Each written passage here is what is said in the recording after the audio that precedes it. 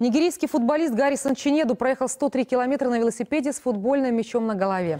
Спортсмен надеется, что его новое достижение вскоре будет зафиксировано в книге рекордов Гиннесса. Начал свой путь футболист на пляже в пригороде Лагоса, после чего въехал в центр города на юго-западе Нигерии, проворно преодолевая различные препятствия.